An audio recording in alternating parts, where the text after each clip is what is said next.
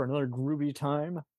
The optimist herself, who preaches such on the Happiest Sad Person podcast. And yes, I've heard it's a fun, fun show. Uh, as real as it gets, Alessandra Jacobs is back, back in action. Thanks for having me. Always a good time. Anytime.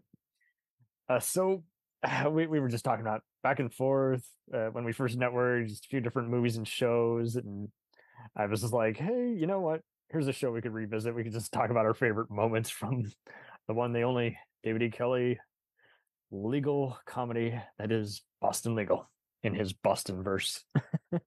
Who'd have thought? I know. I,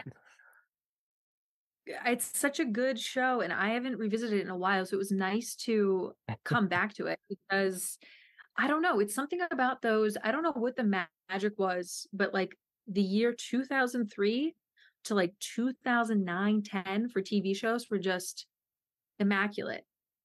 Like it was West Wing, Boston Legal, House.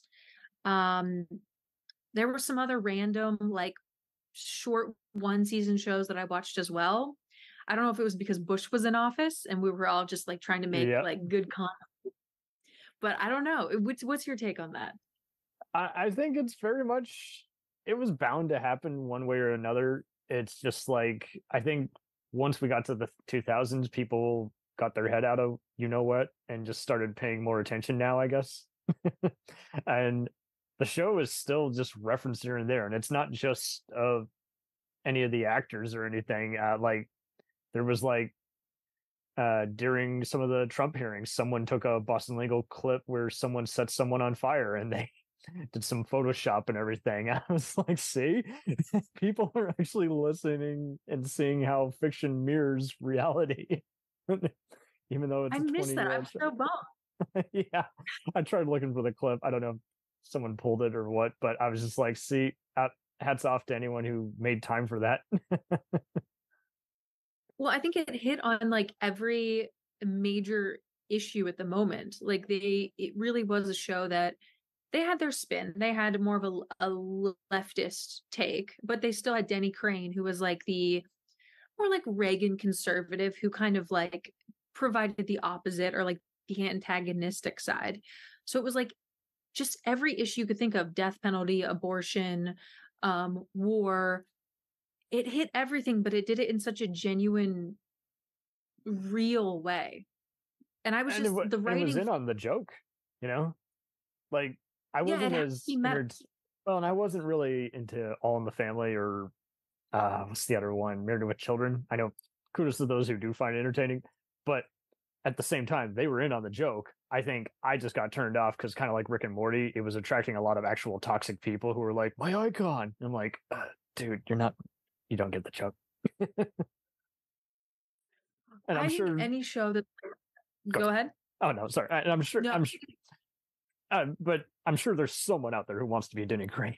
And that's you don't want to be like Denny. True. I he sort of I don't want to make this comparison, but I can't help it because you said that. He's sort of like maybe what Trump thinks he is. He probably is. yeah, competence. Um obviously Star Trek yeah. Star Trek is like in his past and obviously in the real world, but he has that like I don't know, like more of a debonair feeling. And so it's almost like watching the trajectory of politics and sort of how Denny Crane is oh more oh traditional God. conservative. Yes. It's like, yeah, oh, Trump thinks he's this guy, but he's really a buffoon because he's never in on his own shtick. It's it's mm-hmm. above him. So I was like rewatching it. There's like so many layers to it now, and there's like a sadness to it because it's like you want to go back to that world. yeah. oh I just God. I don't know it's so rewatching bits and pieces of it. I'm like, it's so relevant to today. It's just spooky. Uh, and the DVDs were so packed with so many special features. Uh, I know I resaw it all the way through about three years ago, and I still am going to introduce people to it. It's still on Hulu and Amazon for those who want.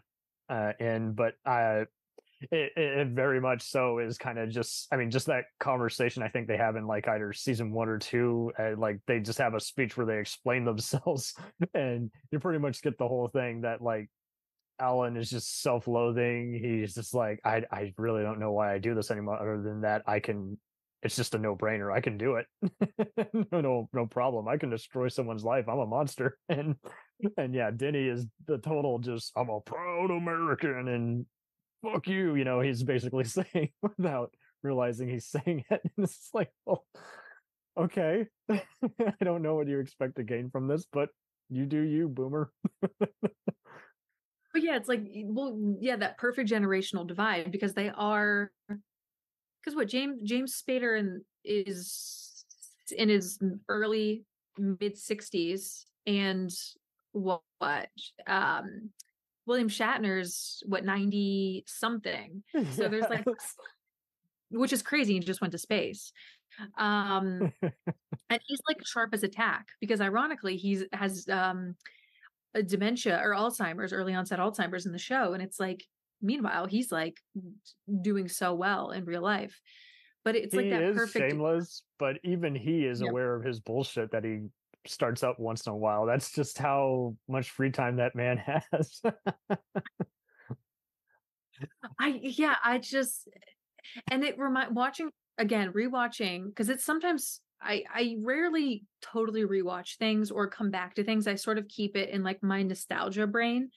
But um it just reminded me of how good that just the actors are. Like that era of acting and that caliber and even like the guest stars, everyone that came through was so just involved in the show. Everyone was giving giving their best acting. And I just feel like you don't see that anymore for TV.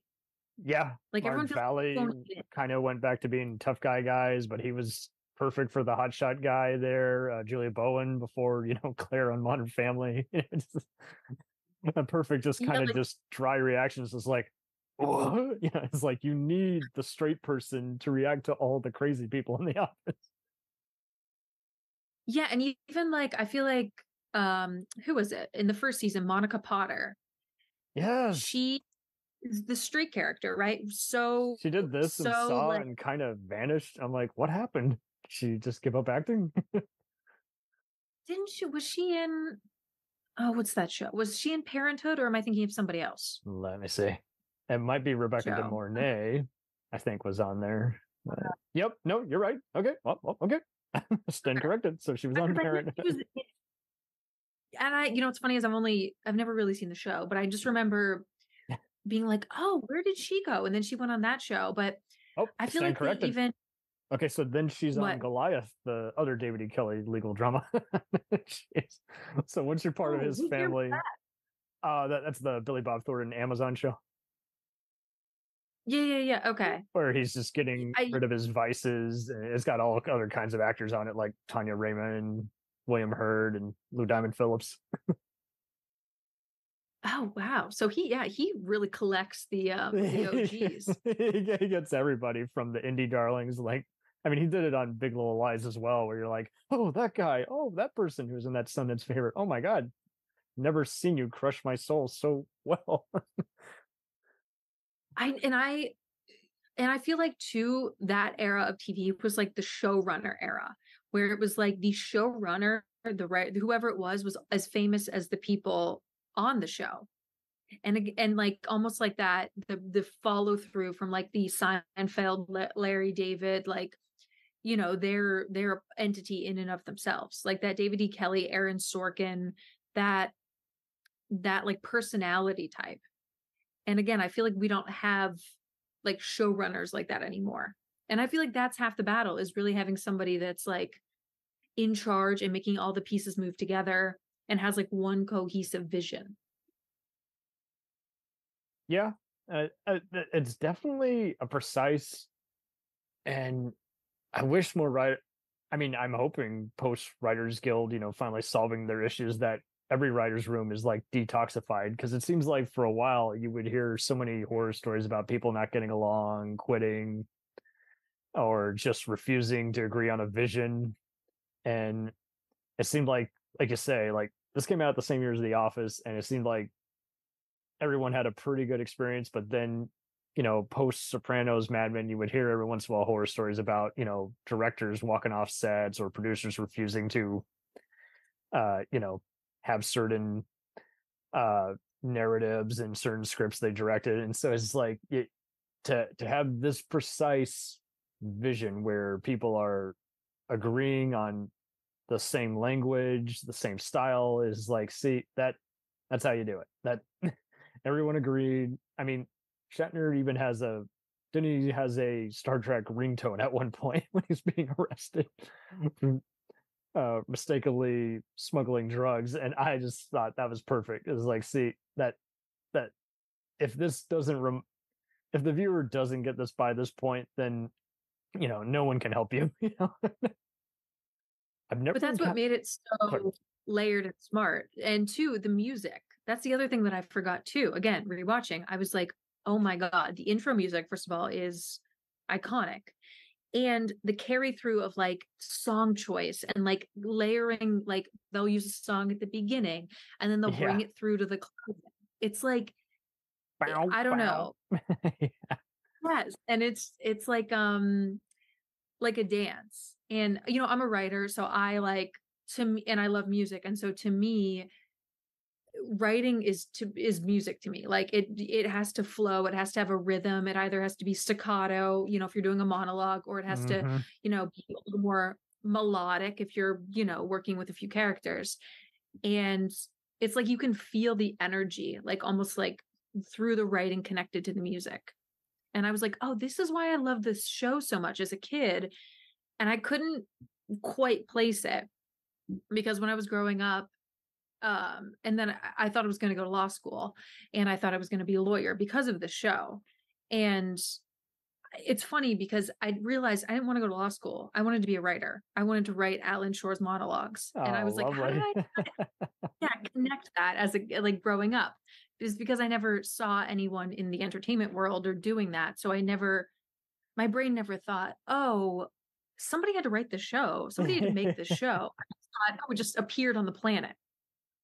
Uh, yeah, they, they, didn't get there overnight either, but uh, it's very eye opening though too, because you're just like, whoa, okay, you know, and, the fact that you know someone had to read that aloud. Uh, I did see an interview with Craig Turk, who has done everything. He wrote for The Good Wife. He was a John McCain speechwriter. He was the co-creator of the FBI shows, and he talked about when he was being schooled by David E. Kelley on there, he would just make a little small changes here and there, not take credit for it, but he would just like here and there, and he and then he'd you know play it back, and he's like, yeah, that that change does actually make this flow better, and so I I, th- I think it does complement your point. It does seem like everyone legit got on the same page, had the general criticism and constructive environment without refusing each other. You know, it, it seemed like writers' rooms those late 90s early 2000s ones were pretty good at just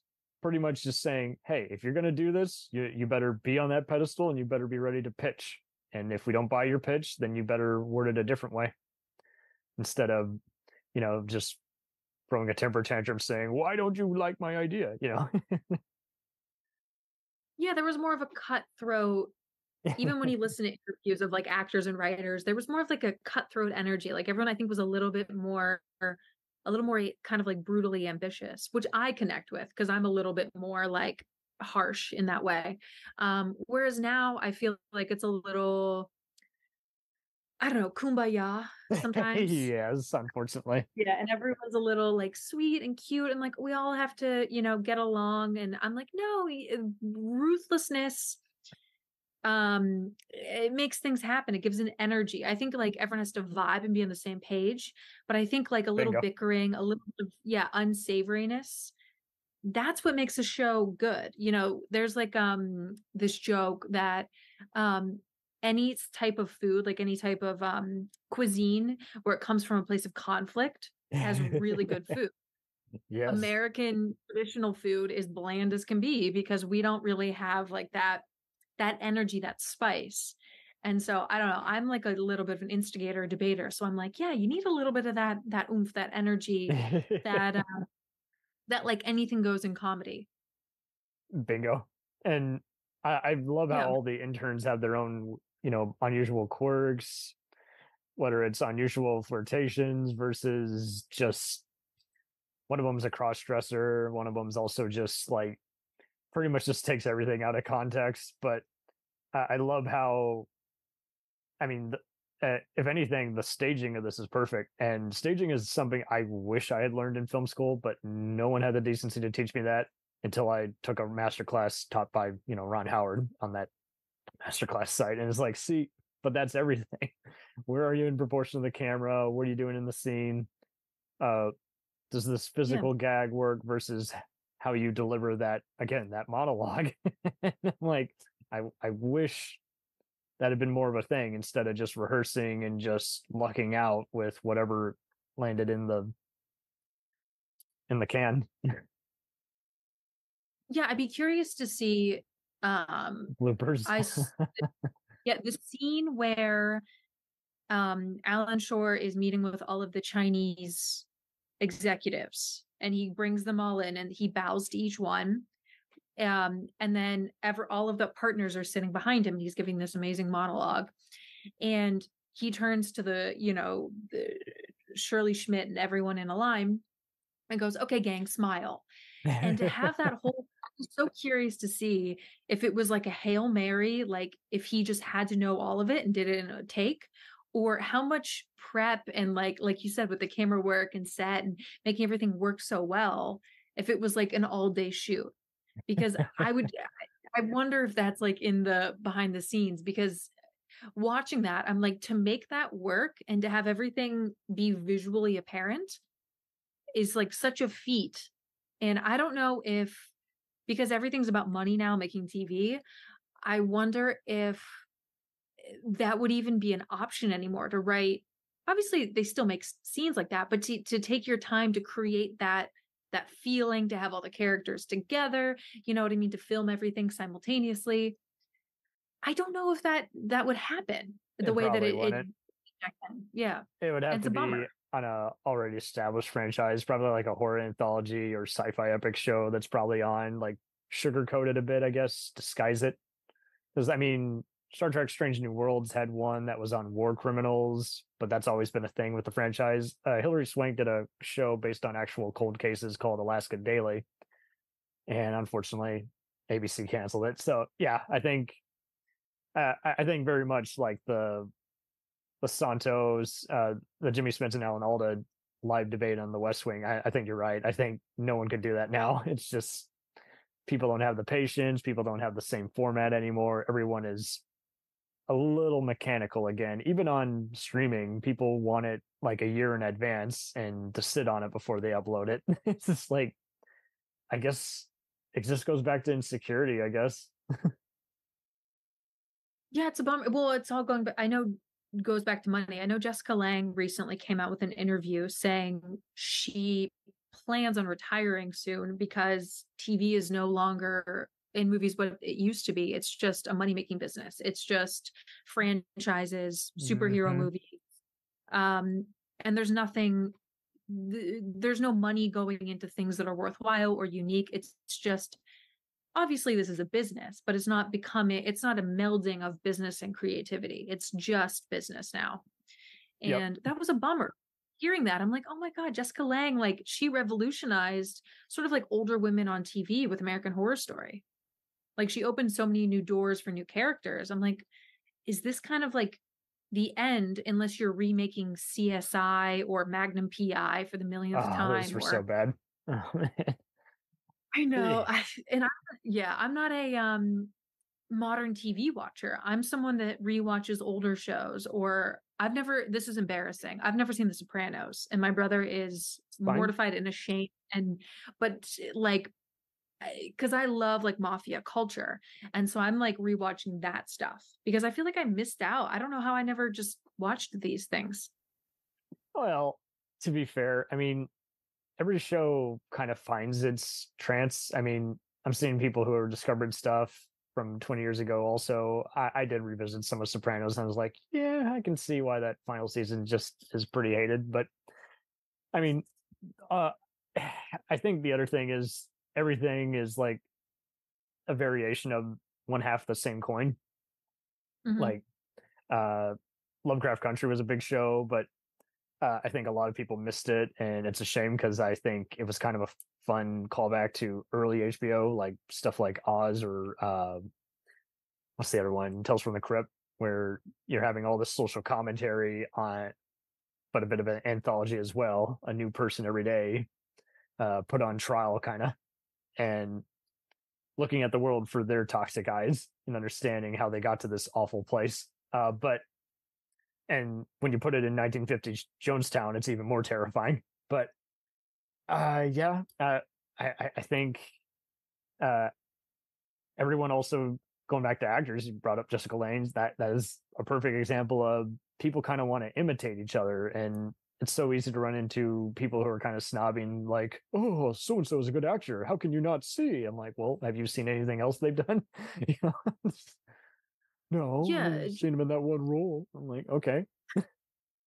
they might be bad in these other roles, but they finally found their bread and butter. You know?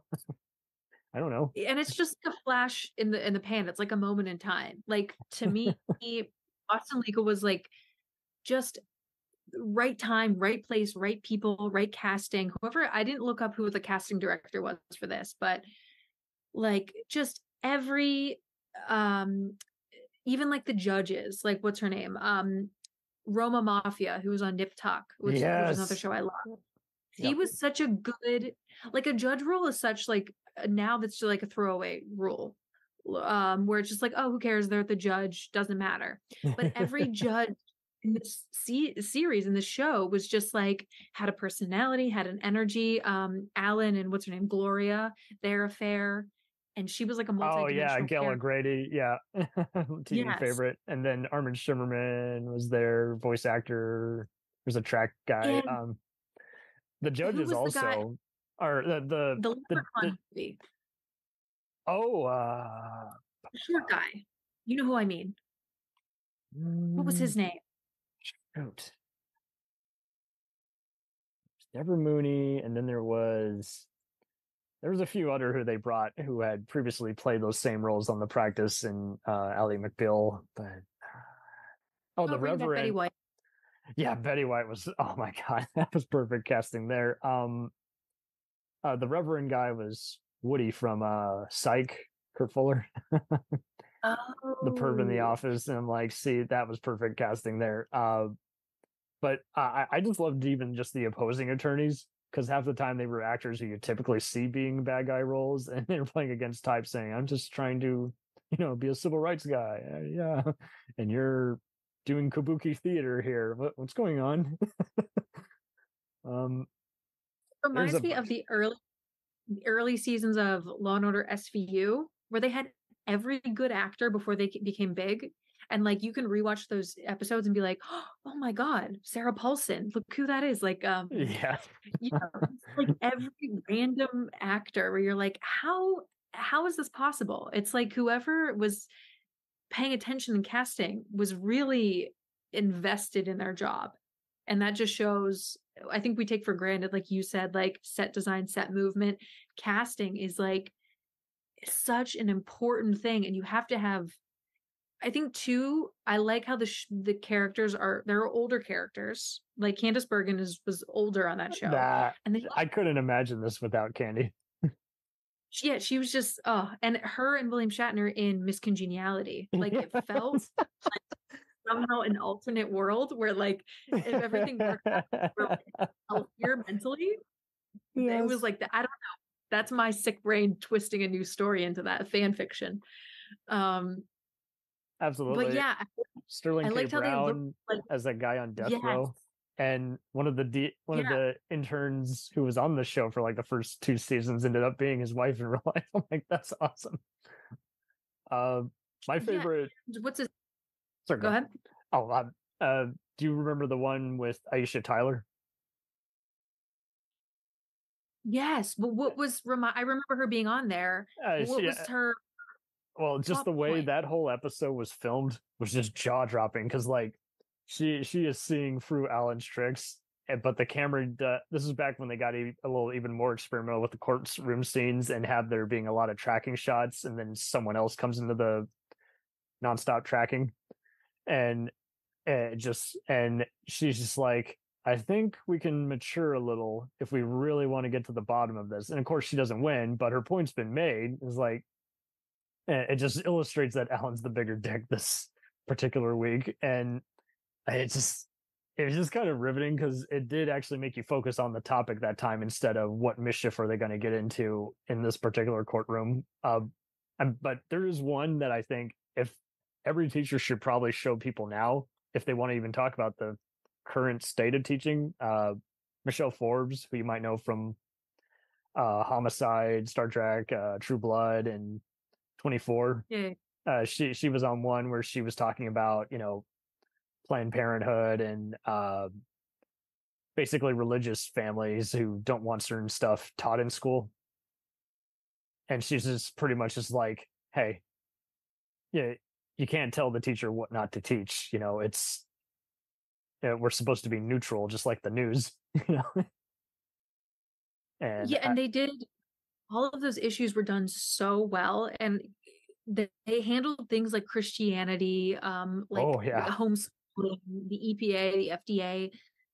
They had their like more like over overture of morality and sort of like trying to be the teacher while also still playing the other side and like also kind of making the other side stupid but not being cruel about it Mhm. it was this really delicate way of doing it and um it reminds me I, the Cheri Oteri episode where she's dumb she's like a she voted for mccain because of sarah palin and yes. the oh my complete on the god. and being interviewed and it was like watching something from last week it was like watching a discussion about politics now and it's like to me i was like oh if anyone like watches something rewatches from from uh the show it's that episode because it like what predicted the future and is such a good way of calling somebody dumb without being cruel like it's just a very plain like she's dumb she's I'm almost a putting you little on bit the in spot without destroying your entire family. I'm giving you a chance for to insert some credibility, but I know that I know we're beyond that because you have no credibility.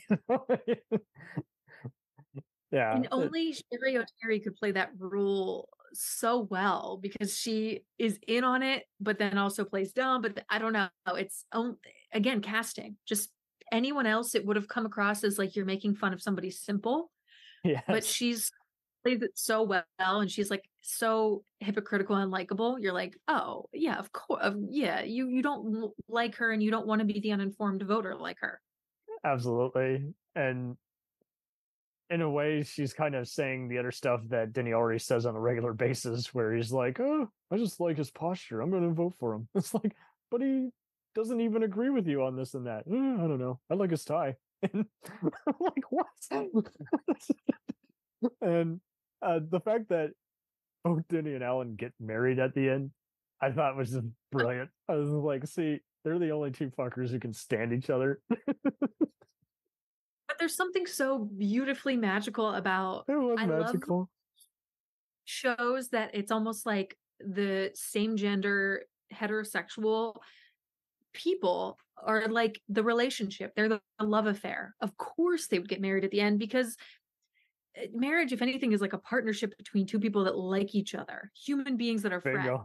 friends so i'm like yeah of course anyone else like alan could have gotten married to so many uh, different women but Yes. he you know what i mean but of course of course the two of them would end up together even in this hypothetical not real relationship and then to have Justice Scalia, you know, being the guy marrying them. Let's see, you know, I, I don't think any of us can get behind Scalia. I'm sure he meant well, but just his hot takes and just being very hard on certain races and crime, uh, and then have him be just again the most hardened guy. A, you know, I obviously it's an actor playing him, but it's just I thought that was just the icing on the cake. It's like let's take the most harsh person who's probably not the most progressive and uh get these two knuckleheads married and it's not even about you know obviously they're not going to have sex with each other but they love they legit love each other they they can't stand to not be around without each other and smoke a few cigars and talk life stories Yeah, because it's almost like they are they make up one complete person. You know, like you said, Alan's um, self-loathing and Denny's oblivious. But you put these people together, and you have a fully enlightened human being. But of course, separate, they're like two little f- souls that are struggling. So it's almost like this. I don't know. I'm an existentialist. I'm like, oh, it's this beautiful existential coming together of like someone finding themselves, but really it's two people becoming like a fully fledged human being.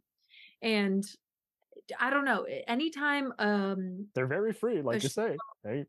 yeah, anytime a show does something so well done, but also like subtle like that, I'm like, oh, I get I get jealous of good writing and like good storytelling. Like Yes. When I'm like jealous, I'm like, that's not fair. I want to come up with that idea. and- now why do you get to be profound and Uh, we get to have a shitty script? no. Why don't I get to tell that story in this lifetime and say it in such a profound, lovely way? It's not fair. It's like, yeah, me being a whiny little baby. But it like makes want to step up and be a better writer. I'm like, oh, now I need to take this idea, flip it on its head, do it in another way, and reinvent the wheel, but obviously make it cooler. And am I saying I would ever be at the level of like a David E. Kelley? No. Would I like to and aspire to? Of course. But that's what we all want to be like the masters. a master. Yeah. Well, and I, I definitely think these these characters could even probably exist in the same universe as the West Wing in a way, because like they are talking about oh, just Oh, it's like Go ahead. Yeah, it's West Wing with humor. It's like a satirical West Wing, like a added layer of like a, a meta commentary. Because they did it with uh, Paul Redford of West Wing did work on some other shows like Designated Survivor and Madam Secretary, but they kind of like you say they still had to play it safe.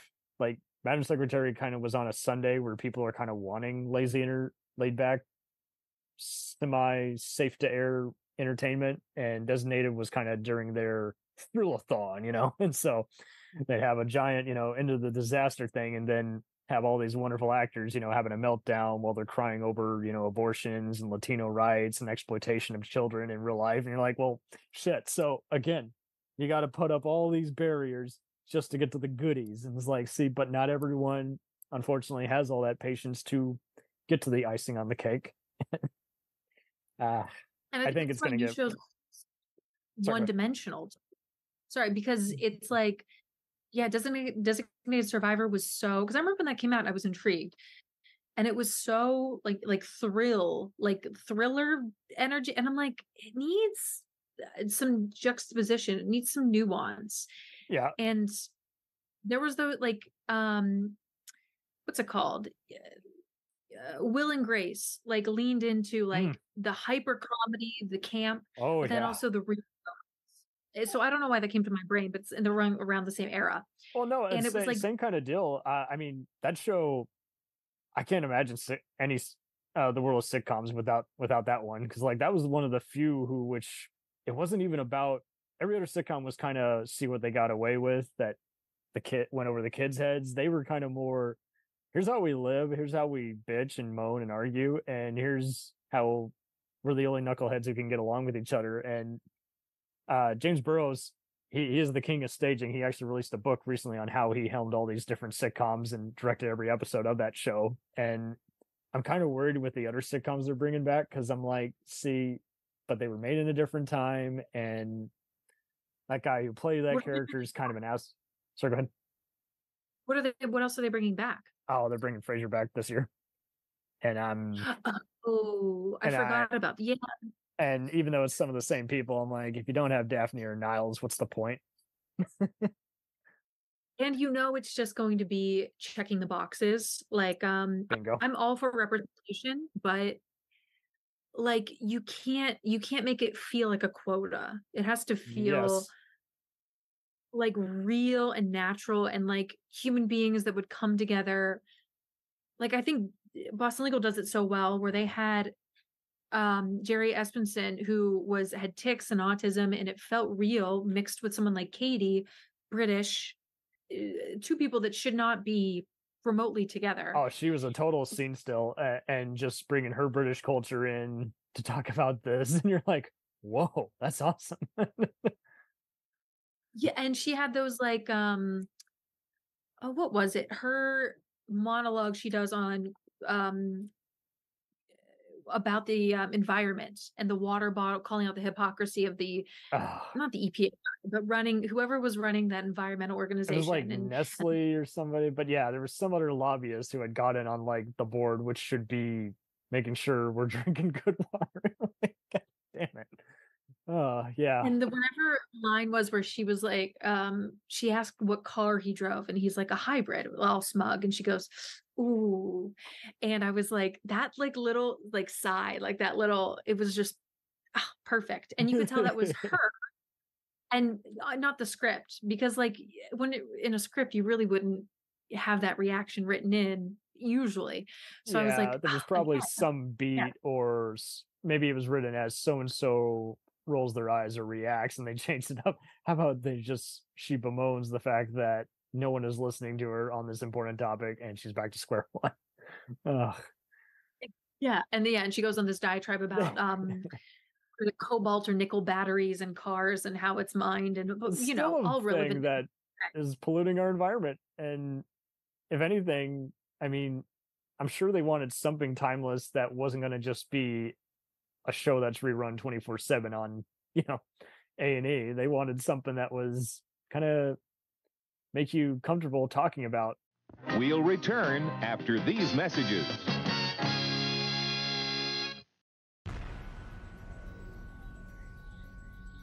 The Jacked Up Review Show podcast is honored to be part of the Blind Knowledge Podcast Network.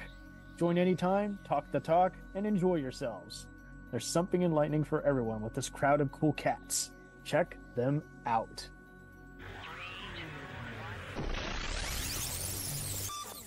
Hey, it's Brent Pope, the host of Breakfast with Brent Pope. You've seen me on some of your favorite TV shows saying things like, Give it up, Jimmy. You got to sink this putt to win. On Breakfast with Brent Pope, I sit down with guests from the entertainment world and we do it all over breakfast. Or should I say, breakfast? Every week on Breakfast, you get inside Hollywood info and tips, great breakfast wrecks and booty debates. Most of all, you get the most delightful 30 minutes of your week. So dig in, it's breakfast time. Listen at Brentfast.com, Apple Podcasts, or wherever fine podcasts are found. Do you ever find yourself thinking about who would win in a fight between Goku and Superman? Hi, I'm James Gavsie, and on the Who Would Win show, me and my co host Ray ignore anything important happening in the outside world and debate fictional battles between characters from comics, movies, and video games. We got a new show every week, and almost always am I the winner. Yeah, not true, Ray. In the past, we've discussed such matches as Captain America versus Darth Vader, Solid Snake versus the Iron Giant, classic matchups like Robocop versus Terminator, and even the Muppets versus Sesame Street. That one was crazy. So if you're a fan of geek culture and love a spirited debate, check out the Who Would Win show wherever you get your podcasts, or check us out at whowouldwinshow.com. Uncomfortable subjects that still impact us. Yeah, and I think it's because the courtroom concept is the perfect way of showing every side. So it's almost like built into the the format where it's like, yeah, you get every side and then side, and then you get the judge who's the mediator, and then you get the person that's being um, cross-examined, and you have sometimes the jury or the Supreme Court representing the government. So you have this built-in like human experience that's already in in the system. Yeah. Um, and you have the other layer of like the interpersonal drama in the office. So it's like Oh, you get yeah. the full range of experience just built into the format. And it's just Oh, like the- you have to pl- Oh, the time where they go to Texas in the final season, and Denny takes out a gun just to make a point about the other guys talking about gun control. I thought that was just brilliant because I even wonder if that would happen in real life, and even if it couldn't, Oh. you know, I could see some similarly absurd thing happening, and I love how the judge is like, "Let's just get a continuance. This got heated." Well, there's like I think it was some stat where it's like uh, what then he's been shot like four times or something. Yeah, yeah, because he says racist shit, and people shoot him in retaliation for the fucked up shit. And then in like the uh, first couple episodes, he's having an affair with one of his clients' wives, and then he pulls a gun on him in like one of the first couple episodes. And I'm like, this is already how the show is opening. Like, I love how they opened hard for this show because obviously they were spinning from another show, so they had some, some like uh, you know clout already so they could really go in on it but the, first Breakfast is episode very dark, but yeah, it doesn't become a comedy until like that final season. And you know, Ally McBeal's another one where it's like it's uh it's a like it or hate it, but it was kind of I think that's what it made Kelley realize I do need more just uncanny workplace behavior. I want to be like LA Law, but I want to avoid how formulaic it became years later where you're either that's interested in yeah, I mean, plot A or plot B, but not the whole thing. And Boston Legal, you really are invested in the whole thing without feeling like, okay, they're getting too comfy. They're that they're because you really are the case will be just something where it's just like it doesn't even feel like a case. It's like, yeah, it's a pretty big topical thing. I don't even know how I feel about that. I'm wondering where this is gonna go instead of Jinkies, I solved the case.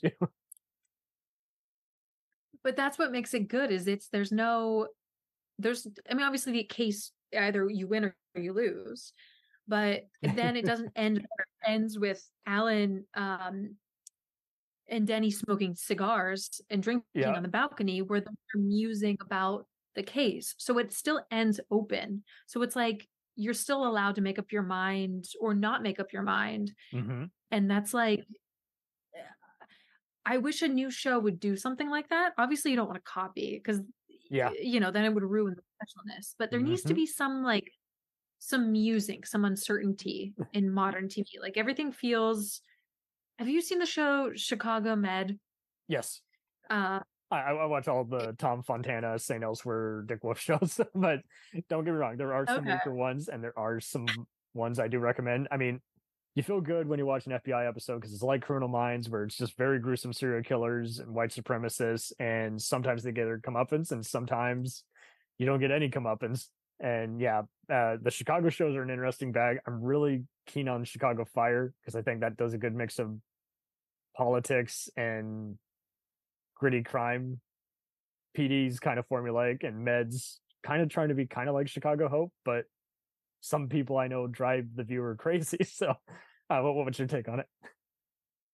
you know it's just funny it's for whatever reason my youtube algorithm has been suggesting me clips from chicago med and i don't know why because i, I don't yeah i follow down the weirdest algorithms so i'll watch Uh-huh. these little clips so i feel like i've seen most of this show but like so taken from the headlines like law and order svu to the point of like being comically ripped from the headlines Mhm. that it takes you out of the the the zeitgeist feeling of it. It doesn't feel like it's of the time. It feels like it's like you know, it would be like if they did an episode not about like safety or something, but if they did one where like it was an exact replica of the Titanic sub bursting.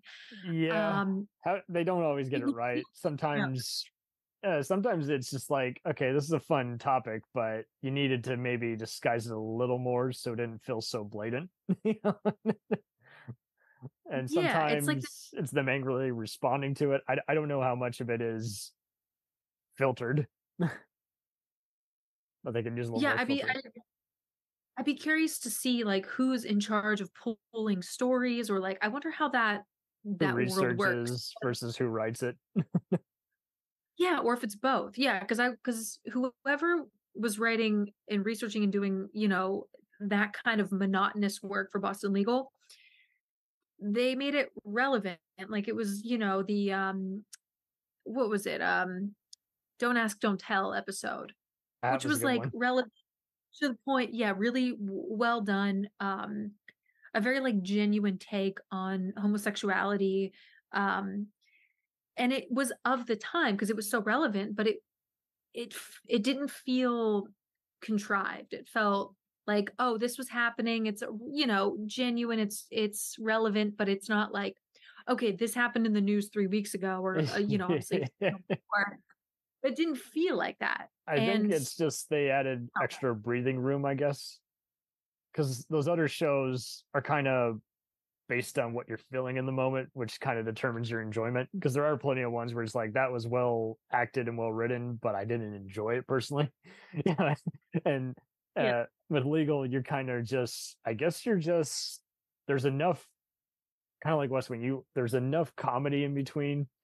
You're able to just kind of get warmed up for it's kind of like if you're seeing live improv or poetry, you're or even a speaker at your college, you have enough that you're able to break through that barrier without, like you say, just feeling like, hey, didn't I just see that on a CNN report last week? You know, just I, uh, uh, but I- I've only encountered ever one person who thought that show just didn't.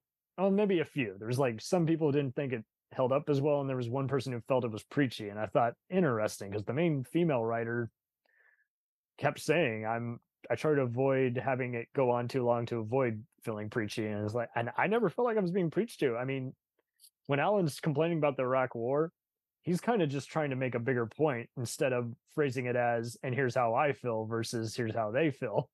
He's just like, he's just reading off stats, and you know, he's building up to a totally different side of his overall argument, I think. And I guess, I guess like Shrek, this has layers like an onion. Good reference. Yeah, I think couldn't help it.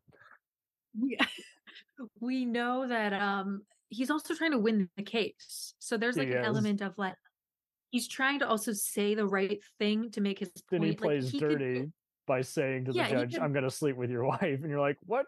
That's not going to win you anything." he kind of also says what we're all thinking, like the darker stuff, the more morbid stuff. He's Yes. he's like kind of our yeah antagonistic, like devil on our shoulder side. And it's not like Danny Crane's the angel, but he's the more pure. I guess if you were going to do that like chart of like, um, I would say Danny Crane's like chaotic neutral. Um, You know, Alan has that chaotic evil if he needs it. It's in his back pocket. yes. And so I love he plays with that concept a little bit. oh my and- god. I don't know. I like I like when characters are kind of gross and unsavory and An unlikable. sometimes. liar. Yeah, because we want that's how human beings are. I'm going are. to stab you in the back, but at least I'll warn you before I do it. While Denny is kind of like still not learning from his mistakes, you get to season five and he's still twiddling his thumbs. And the judge is like, You don't seem to be involved in the case, sir. And he's like, Oh, I, I'm just reenacting me being bored during history class, judge. God damn it. Why are you a lawyer? How did you get this far? That's again. Yeah, there's a charm to that. That's like how we are sometimes. we are just ourselves and kind of simple and like a, a you know kind of like a fifth grader again. Jenny Oh is my- kind of like a eternal fifth grader. One of my favorite podcasts I listen to is Who Would Win, and as a fun take on the whole just versus matches, uh, uh, Ray will spend the who's a former wrestler will spend too much time trying to research YouTube clips, while James just uses what he calls the intoxicating mind fog, where he goes. And by the way, Ray, I didn't listen to anything you had to say because it wasn't interesting. And uh, here's how I feel about this character and that character. Here's why Spawn defeats this character in a fight. Here's why Jason Bourne is a pretty cool martial artist. Here's why Pinhead is going down because I'm repping this, you know, sci-fi fantasy horror character. Just like, I, and I just love that kind of whole sense of just be a python, just strike, and, and let them know what are when you bite them, what are the venoms, you know, striking into their blood instead of just using all the venting all this energy where you can't where it's not needed. Yeah, it's like the ADHD kid response. the honest one. I know because I always try to be more cerebral, and I Eh, sometimes you come across that in, in your in your life, just like you know talking to people, and you're like, "Whoa, that threw me for a loop." Just someone saying, "I didn't listen to anything you said." I don't care. Now what? And you're like, "Wait, what?" I'm a All- my whole fool because I didn't see it Yeah. coming. I thought I've seen There's everything. charming in that. yeah, I'm envious of people that have that kind of, you know, single celledness for they're like, I'm happy now, I'm sad now. Yeah, I'm in. There's a you're because essentially what that person's saying is I'm present in the moment. Because uh I'm always in my own brain thinking, and I'm like rolling my my brain scrolling. It's somewhere else. I'm thinking about my grocery list. You know, my brain's divided. yes. Can only spend Always, this 'cause I'm X amount until this day when I get paid. Yada yada. I'm never fully present, and I'm so envious of people that are like that. And so I think it's you, to me, Denny Crane's the present one. He's in. he's a hedonist, and Alan is the the mental scroller. He's like, how can I be the philosopher somewhere else mentally you know away and and he's also his own worst enemy he's a self-sabotager he destroys relationships He does absolutely. yeah what is it the second episode he is the guardian for his ex-girlfriend who tried to kill him Oh my god, with Elizabeth Mitchell. Yeah. yeah, Yeah. and um I, she was an ama- amazing in that too and i was like You've oh, seen her later on The Purge and The Expanse. Uh, she's kind of a sci-fi horror queen now. But yeah, man, I know I need to get into that universe because I feel like so many good actors go into that space, and I just in space. that's all. That's all. Yes, space, literal and figuratively. Pinhead um, and Jason went there, so can we. I just don't. It's such a dedication going into like that, like the uni, like learning about that. Those again, uh, literally and figuratively, the universes. Uh, you know, starts expand that whole world. Um, and I just, I don't know. When I go into a show, I go deep. Like I like knowing about all the extra stuff around it and the history and the. You want a I reason watch, to have to um, binge it instead of, okay, I guess this is going somewhere. Unsure. I know. Uh, I there's so much good. It makes me like sad that we only have so many years on this earth because I'm like, there's so many good books to read, movies to watch, TV shows to watch. I'm like, how all in my short, short life? It's not fair. Um, but that's like my usual existential dread. I'm like, you know, we're all we're all missing out on so much. well, we're all trying to avoid all these stands and Karens, and then at the same time, it's like, uh oh, I said something there that could be interpreted as such. Maybe I'm risking becoming one of them, so I better better wake up, better smell the roses. Yeah, true. Yeah, and it's crazy too how modern TV is such like a fandom. Like um like you were saying with like uh Rick and Morty and everyone being so intense and extreme about shows and all of that. Like I missed whenever it was just a show and people enjoyed it and were tuned in. But like then you moved on. You weren't like bickering with people. It's like Mhm. why It's it's good because it's teaching us things and it's Yep. storytelling. It's like why do we need to fight? It's supposed to be fun. We fight enough in our real lives. Yep. And so many i miss even when it didn't matter if a show was a union or not there were so many other shows from the 80s and 90s that did a good job having all this topical information and they were on a sister channel so they had enough ratings that they had enough freedom to do what they want. Anything from tales from the dark side to babylon 5 to all these other ones homicide uh life on the street uh launched a bunch of careers and that David Simon guy was a former cop and he's done all these other social commentaries for HBO and it's like uh sometimes people can beat the whole ratings game and just find the right people at the right time but ah, I don't even know how anyone even just gives a chat on how to be influential. Well, I don't even it's funny because I was I wasn't sure how this show was rated and so I was I was reading little blurbs about like the ratings and and viewership and whatnot. And I didn't realize that it Boston Legal had not good ratings. Yeah, Like it was not a it was a it's an Emmy's kind of a darling, but it was classic. not. Yeah, it was not. and I was surprised because I, for some reason in my mind, I thought, oh, it was more, you know, industry acclaimed than, you know, um, sort of like cult classic acclaimed. And it was the opposite. And I was surprised because it seems like it would have been a show that would have been so loved in like the, was it, the Nielsen ratings world, that traditional old school, you know, TV ratings game.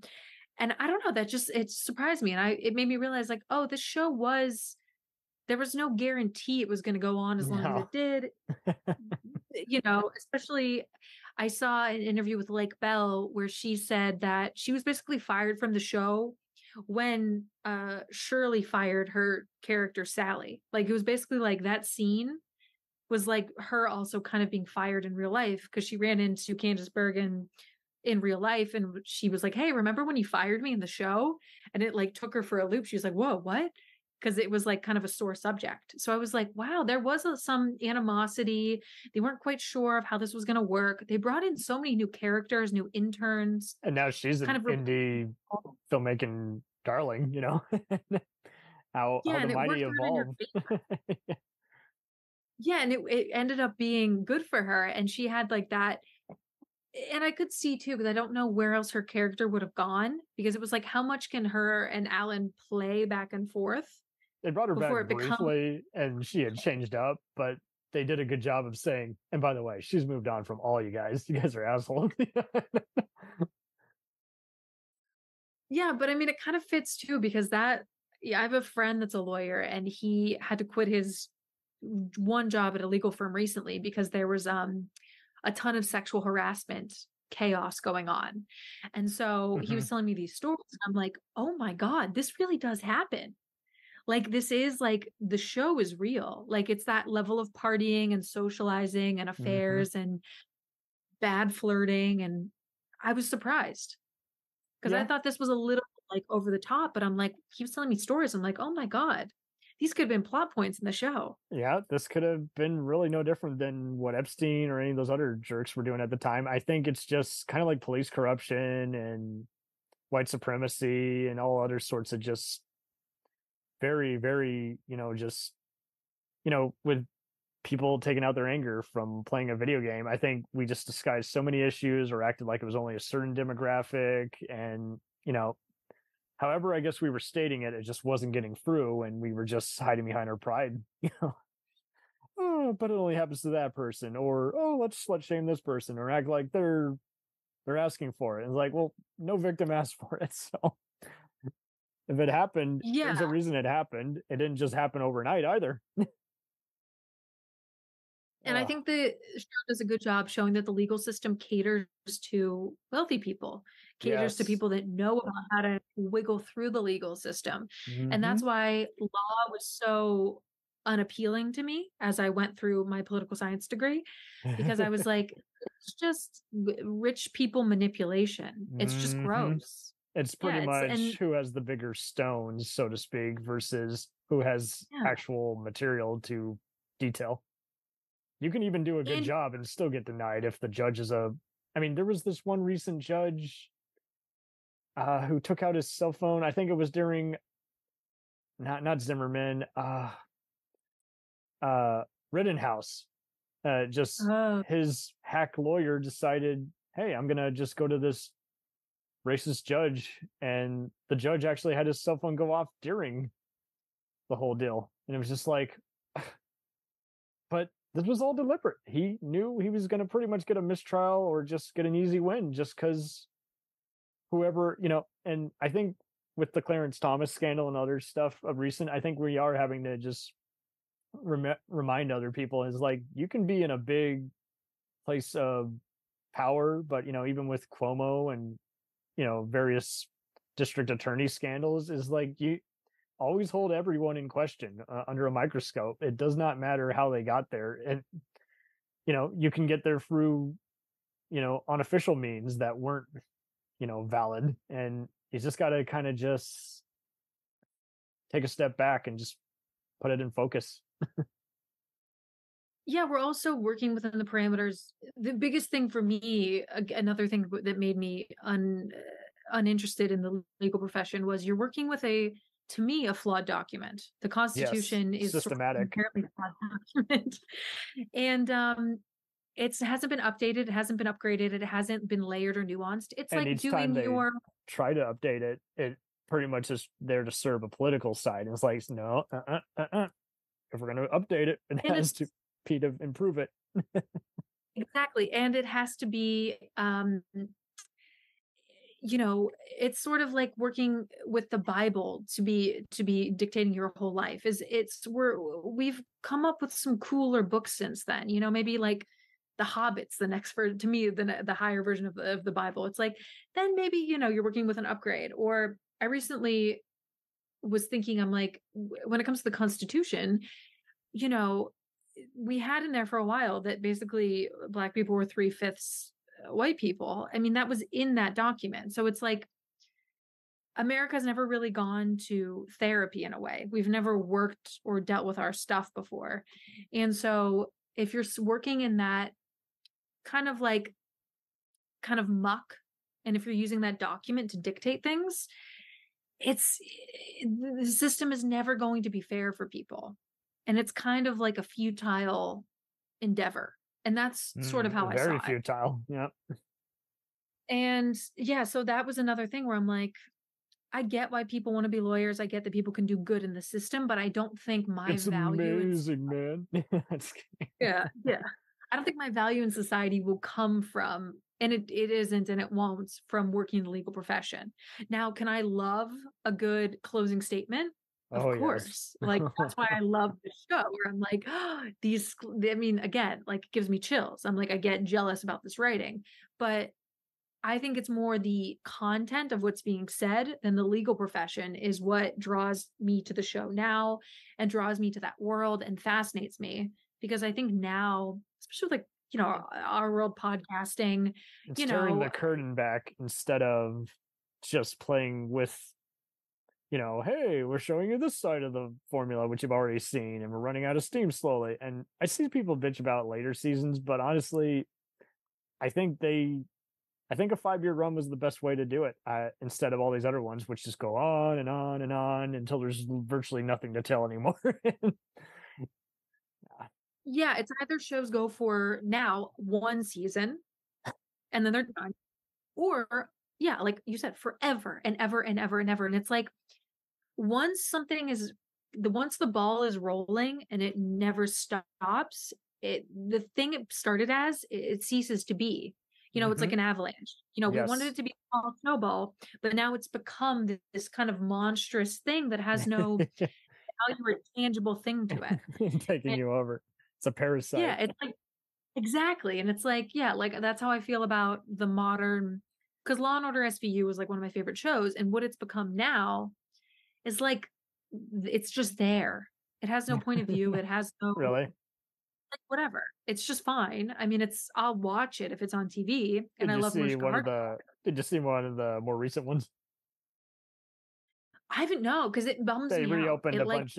They reopened a bunch of newer cases that basically all of them are mistrials now. So they've been doing more serialized Oh. shit.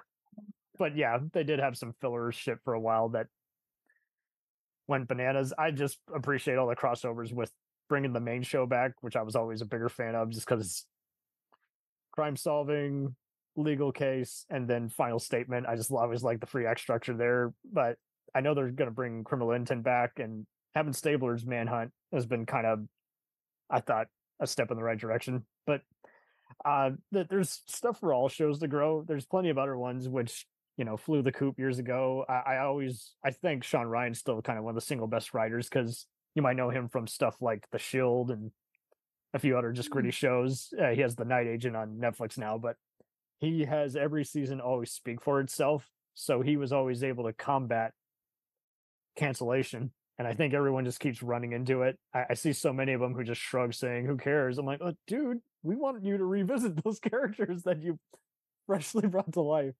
Uh, you see other ones too who are just kind of out of it, and I'm like, "Ah, dude, you blew my mind back in the day. You should pat yourself on the back because no one else can do that."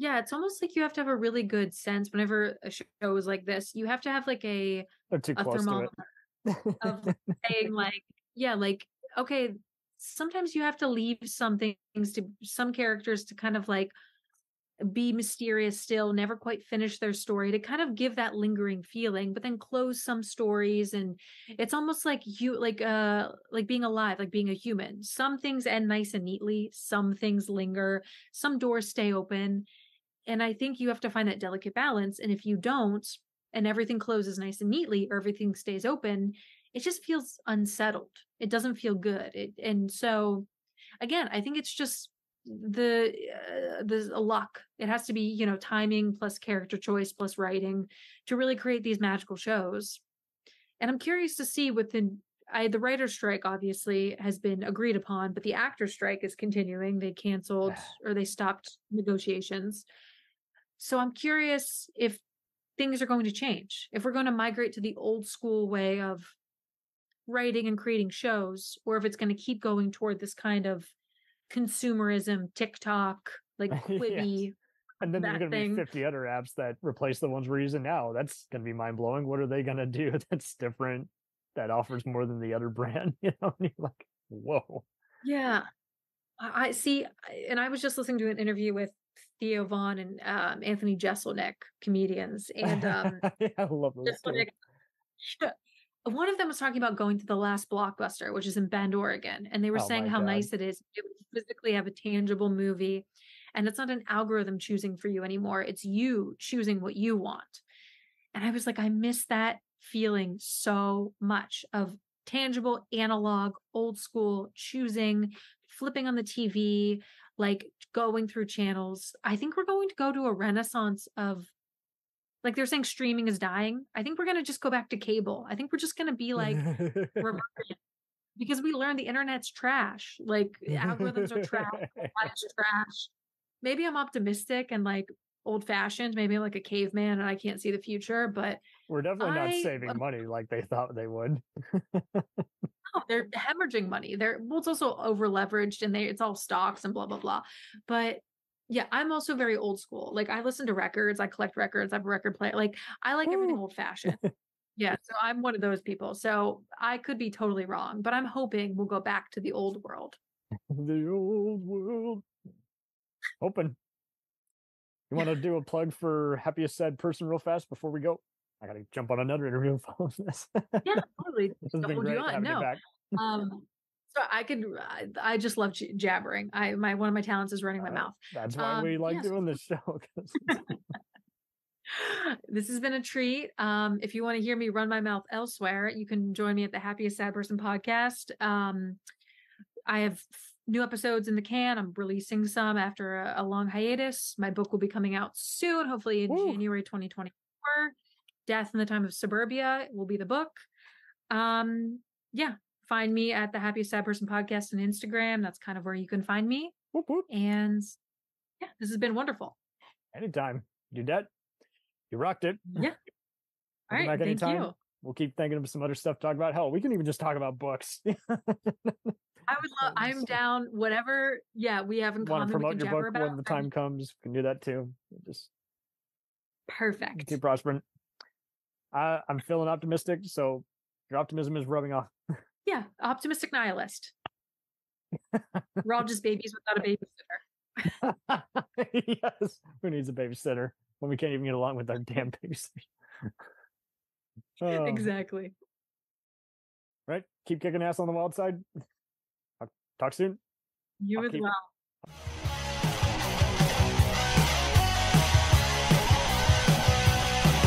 Follow us on the web on Facebook, Twitter, and Instagram.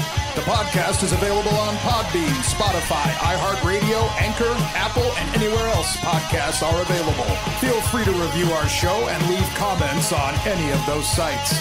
Thanks a million for listening.